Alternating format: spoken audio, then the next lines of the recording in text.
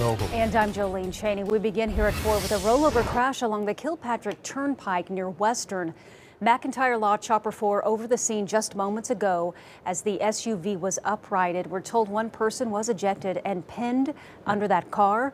Once free, the victim was rushed to the hospital. We are wording, uh, we are waiting rather on their condition.